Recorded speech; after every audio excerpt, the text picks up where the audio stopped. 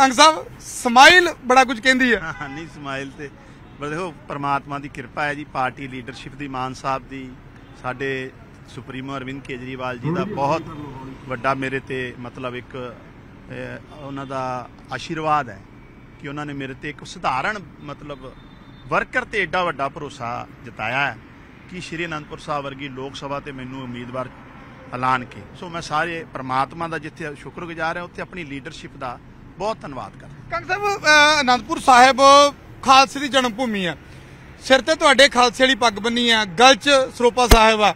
ਜ਼ਿੰਮੇਵਾਰੀ ਬਹੁਤ ਵੱਡੀ ਇਸ ਸੀਟ ਦੀ। ਹਾਲਾਂਕਿ ਇਸ ਸੀਟ ਤੇ ਕਾਂਗਰਸ ਵੀ ਜਿੱਤਦੀ ਰਹੀ। ਆ ਅਕਾਲੀ ਦਲ ਜਿਹੜਾ ਉਹ ਵੀ ਜਿੱਤਦਾ ਰਿਹਾ। ਹੁਣ ਆਮ ਆਦਮੀ ਪਾਰਟੀ ਵੱਲੋਂ ਤੁਸੀਂ ਚੋਣ ਮੈਦਾਨ ਦੇ ਵਿੱਚ ਪਹਿਲਾਂ ਤੁਹਾਡੇ ਹੱਥ ਸੀਟ ਜਿਹੜੀ ਹੈ ਤੁਹਾਡੇ ਉਮੀਦਵਾਰ ਦੇ ਨਹੀਂ ਆਈ।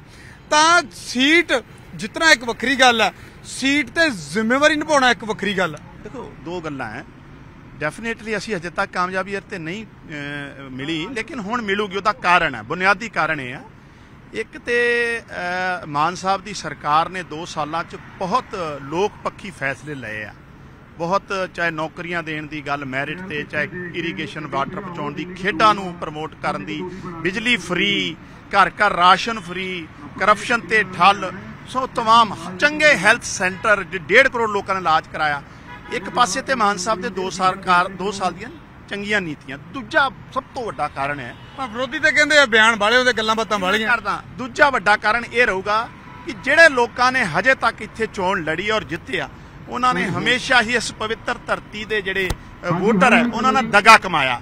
ਉਹਨਾਂ ਨੇ ਕਦੀ ਵੀ ਇਸ ਧਰਤੀ ਬਾਰੇ ਇੱਥੋਂ ਦੇ ਲੋਕਾਂ ਬਾਰੇ ਫਿਕਰ ਨਹੀਂ ਕੀਤੀ, ਫਿਕਰ ਕੀਤੀ ਤੇ ਆਪਣੇ ਐਮਪਾਇਰ ਖੜੇ ਕਰਨ ਦੀ ਔਰ ਆਪਣੀਆਂ ਅਗਲੀਆਂ ਜਨਰੇਸ਼ਨਾਂ ਦਾ ਰਾਜਨੀਤਿਕ ਭਵਿੱਖ ਬਚਾਉਣ ਲਈ। ਅਸੀਂ ਮਾਨ ਸਾਹਿਬ ਦੀ ਅਗਵਾਈ 'ਚ ਲੜਾਈ ਲੜ ਰਹੇ ਹਾਂ, ਪੰਜਾਬ ਦੀਆਂ ਪੀੜ੍ਹੀਆਂ ਦਾ ਭਵਿੱਖ ਬਚਾਉਣ ਲਈ। ਕੰਗ ਚੁਣੌਤੀਆਂ ਕੀ ਦੇਖਦੇ ਹੋ ਇਸ ਵੇਲੇ? ਕਿਉਂਕਿ ਤੁਸੀਂ ਤੇ ਚੋਣ ਮੈਦਾਨ ਨਿਤਰੇ ਹਲੇ ਉਧਰ ਅਕਾਲੀ ਦਲ ਕਸ਼ਮਕਸ਼ ਕਰ ਰਿਹਾ, ਹਲੇ ਕਾਂਗਰਸ ਨੇ ਆਪਦਾ ਦੇਖਣਾ ਹਿਸਾਬ ਕਿਤਾਬ। ਐਸੇ ਹਾਲਾਤਾਂ ਦੇ ਵਿੱਚ ਕਿਵੇਂ ਦੇਖਦੇ ਹੋ? ਸਾਹਮਣੇ ਚੁਣੌਤੀਆਂ ਕੀ ਨੇ? ਦੇਖੋ, ਮੈਂ ਜੇ ਤਾਂ ਤੁਸੀਂ ਪੋਲਿਟੀਕਲ ਪੁਆਇੰਟ ਆਫ View ਨਾਲ ਪੋਲਿਟੀਕਲ ਰਾਜਨੀਤਿਕ ਪਾਰਟੀਆਂ ਦੇ ਪੁਆਇੰਟ ਆਫ View ਨਾਲ ਪੁੱਛ ਰਹੇ ਹੋ ਸਵਾਲ, ਫਿਰ ਤਾਂ ਮੈਂ ਇੱਕੋ ਦੋ ਲੈਣਾ ਕਿਉਂ ਪੜੇ ਹੋ ਚੱਕਰ ਮੈਂ? ਕੋਈ ਨਹੀਂ ਹੈ ਟੱਕਰ ਮੈਂ। ਕੋਈ ਇਹਨਾਂ ਦਾ ਵਜੂਦ ਨਹੀਂ। ਇਹ ਨਕਾਰੇ ਲੋਕ ਹੈ। ਇਹ ਹਮੇ, ਪੰਜਾਬ ਦੇ ਲੋਕਾਂ ਨੇ ਇਹਨਾਂ 'ਚ ਕੋਈ ਇਹਨਾਂ ਦੀ ਕ੍ਰੈਡੀਬਿਲਟੀ ਨਹੀਂ ਹੈ। ਇਹਨਾਂ ਨੂੰ ਬਹੁਤ ਲੰਮਾ ਸਮਾਂ ਜਿਹੜਾ ਆ, ਪੰਜਾਬ ਤੇ ਨੁਮਾਇੰਦਗੀ ਕਰਨ ਦਾ ਵਿਧਾਨ ਸਭਾ, ਲੋਕ ਸਭਾ 'ਚ ਮਿਲਿਆ। ਸਾਰੇ ਜਿਹੜੇ ਆ ਰਿਜੈਕਟਡ ਲੋਕ ਆ, ਜਿਹੜੇ ਮਰਜ਼ੀ ਆ ਜਾਣ। ਹਜੇ ਕੋਈ ਤੀਜਾ ਨਾ ਹੁੰਦਾ ਚੌਥਾ ਹੁੰਦਾ ਜਿਹੜੇ ਮਰਜ਼ੀ ਆ ਜਾਣ ਲੇਕਿਨ ਔਰ ਸਾਰੇ ਪੰਜਾਬ ਦੇ ਲੋਕਾਂ ਵੱਲੋਂ ਟੈਸਟ ਟੈਸਟਡ ਹੈ ਲੇਕਿਨ ਫੇਲ ਹੈ। ਅਰਵਿੰਦ ਕੇਜਰੀਵਾਲ ਦੀ ਗ੍ਰਿਫਤਾਰੀ ਤੋਂ ਬਾਅਦ ਉਹ ਤਾਂ ਕਹਿੰਦੇ ਨੇ ਕਿ ਕੱਟੜ ਇਮਾਨਦਾਰ ਸੀ ਤੇ ਨਿਕਲ ਕੇ ਕਹਿੰਦੇ ਹੁਣ ਮੈਂ ਸ਼ਬਦ ਵੀ ਨਹੀਂ ਮਿਲਦਾ ਵਰਤਣਾ ਚਾਹੀਦਾ। ਉਹ ਕਹਿੰਦੇ ਅੰਦਰ ਬੈਠੇ ਨੇ ਤਾਂ ਕਰਕੇ। ਦੇਖੋ ਬਰਾੜ ਸਾਹਿਬ ਗੱਲ ਬੜੀ ਸਪਸ਼ਟ ਹੈ। ਜੇ ਅਸੀਂ ਅੱਜ ਭਾਜਪਾ ਜੁਆਇਨ ਕਰ ਲਈਏ ਜਿਸ ਤਰ੍ਹਾਂ ਅਜੀਤ ਪਵਾਰ ਨੇ ਜੁਆਇਨ ਕੀਤੀ ਜਿਸ ਤਰ੍ਹਾਂ ਸ਼ਗਨ ਭੁਜਬਲ ਤੁਸੀਂ ਤਾਂ ਜੇ ਕਰ ਲਈ ਤਾਂ ਕਹਿਣਗੇ ਘਰ ਵਾਪਸੀ ਹੋ ਗਈ। ਮੈਂ ਉਹੀ ਕਹਿ ਰਿਹਾ ਜੇ ਅਸੀਂ ਹੈਮੰਤ ਬਿਸਵਾ ਸ਼ਰਮਾ ਵਾਂਗੂ ਜੁਆਇਨ ਕਰ ਲਈਏ ਭਾਜਪਾ ਫਿਰ ਤੇ ਅਸੀਂ ਬਣ ਜਾਣਾ ਦੁੱਧ ਧੁੱਪੇ। ਲੇਕਿਨ ਬਹੁਤ ਸੀਰੀਅਸ ਨੋਟ ਤੇ ਮੈਂ ਗੱਲ ਕਰ ਰਿਹਾ। ਬਾਬਾ ਸਾਹਿਬ ਅੰਬੇਡਕਰ ਦੇ ਸੰਵਿਧਾਨ ਨੂੰ ਔਰ ਭਗਤ ਸਿੰਘ ਜੀ ਵਰਗੇ ਮਹਾਨ ਲੋਕਾਂ ਦੀ ਸ਼ਹਾਦਤ ਤੋਂ ਮਿਲੀ ਆਜ਼ਾਦੀ ਨੂੰ ਲੋਕਸ਼ਾਹੀ ਨੂੰ ਬਚਾਉਣ ਦੀ ਜਿਹੜੀ ਇਹ ਲੜਾਈ ਆ ਉਹ ਲੜਾਈ ਦੀ ਅਗਵਾਈ ਅਰਵਿੰਦ ਕੇਜਰੀਵਾਲ ਜੀ ਬਹੁਤ ਮਜ਼ਬੂਤੀ ਨਾਲ ਲੜ ਰਹੇ ਆ। ਅਸੀਂ ਤੁਸੀਂ ਕੰਗ ਸਾਹਿਬ ਤੁਸੀਂ ਤਾਂ ਵੈਸੇ ਚਲੋ ਮੈਂ ਉਹ ਕੋਈ ਤੰਜ ਨਹੀਂ ਕਰ ਰਿਹਾ। ਤੁਸੀਂ ਰਹੇ ਹੋ ਬੀਜੇਪੀ ਦੇ ਵਿੱਚ।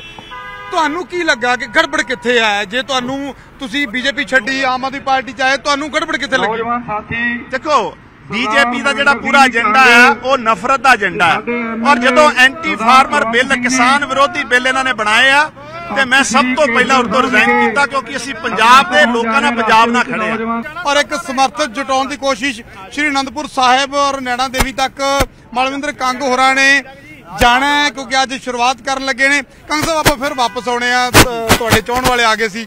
ਤਾਂ ਕੰਗ ਸਾਹਿਬ, ਐਸੇ ਹਾਲਾਤਾਂ ਦੇ ਵਿੱਚ ਸਿਚੁਏਸ਼ਨ ਐਕਚੁਅਲ ਦੇ ਵਿੱਚ ਕਿੱਥੇ ਦੇਖਦੇ ਹੋ?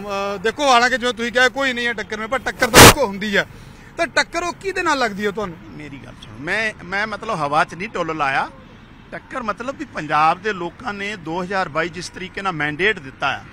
ਇਹ ਤਾਂ, ਇਹ ਤੋਂ ਸਮਝਣਾ ਉਹਨਾਂ ਦੀ ਰਾਜਨੀਤਿਕ ਜਿਹੜੀ ਸੂਝ-ਬੂਝ ਹੈ ਪੰਜਾਬ ਦੇ ਲੋਕਾਂ ਦੀ, ਉਹ ਬਹੁਤ ਵੱਡੇ ਲੈਵਲ ਦੀ ਆ।